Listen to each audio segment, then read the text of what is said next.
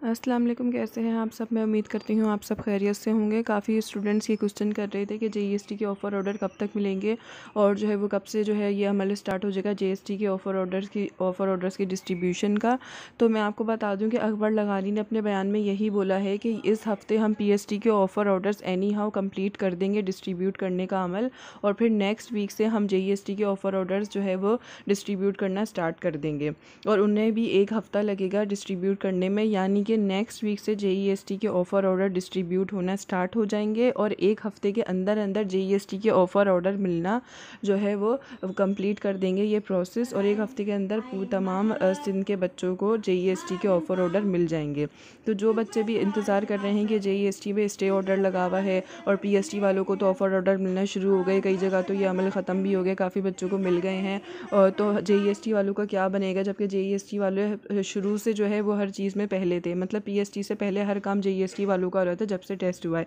पर जब से जो है ये स्टे ऑर्डर लगाए जेईएसटी पे तो उन लोगों का काम काफ़ी रुक गया और वो बच्चे बहुत मायूस हो गए कि हमें आखिर कब तक इंतज़ार करना पड़ेगा और पी का काम हो रहा है पर हमारा नहीं हो रहा। तो उन सब के लिए अकबर लगारी ने बहुत ज़्यादा अच्छा बयान दिया है, बहुत बड़ी न्यूज़ उन्होंने दी है, बहुत खुशखबरी की न्यूज़ है कि आप लोगों का इंतज़ार अब ख़त्म हो गया है, बस पी के ऑफ़र ऑर्डर इस हफ़्ते में डिस्ट्रीब्यूट होना ख़त्म हो जाएँगे तो फिर उसके बाद आप लोगों का काम शुरू हो जाएगा, आप लोगों के जी वालों के ऑर्डर मिलना शुरू हो जाएँगे। करेंगे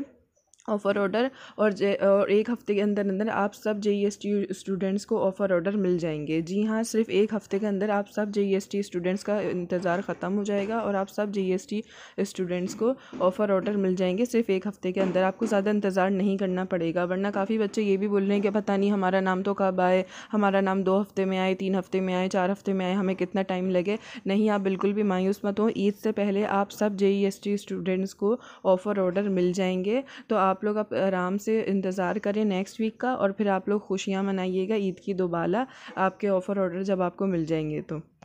अकबर लगारी ने यह भी बोला है कि मैंने जो है वो स्ट्रिक्टली ऑर्डर जारी किए हैं तमाम डीईओस को कि आप कुछ भी करके पीएसटी के ऑफ़र ऑर्डर इस हफ़्ते में कंप्लीट करें ताकि फिर नेक्स्ट प्रोसेस जो है वो उनका हो जीएसटी वालों को और नेक्स्ट वीक से उनके स्टार्ट हो जाए। उन्होंने कहा है कि चाहे आप लोगों को बारह बारह बजे तक काम करना पड़े डबल ट्रिपल मेहनत करनी पड़े, लेकिन आप लोगों ने नेक्स्ट वीक से जे के ऑफ़र ऑर्डर स्टार्ट कर देने हैं। मैंने कोई आगे बहाना या कुछ भी नहीं सुनना और उन्होंने स्टार्ट कर देने हैं, चाहे काम हो, नहीं हो तो इसके लिए सब तमाम डी पर बहुत प्रेशर है और वो बहुत ज़्यादा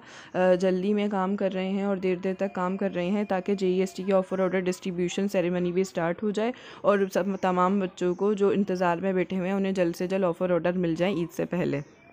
और अगर आपको ग्रेस मार्क्स के हवाले से वीडियो चाहिए, जो आपको अकबर लगारी की मालूम करनी है, उन्होंने क्या बोला तो वो मेरे चैनल पे अपलोड है। मैं उम्मीद करती हूँ आपको मेरी आज की वीडियो पसंद आई होगी। और अगर आपका कोई सवाल हो तो आप मुझसे कमेंट सेक्शन में पूछ सकते हैं। मैं उसका भी आपको जवाब दे दूँगी वीडियो बनाकर।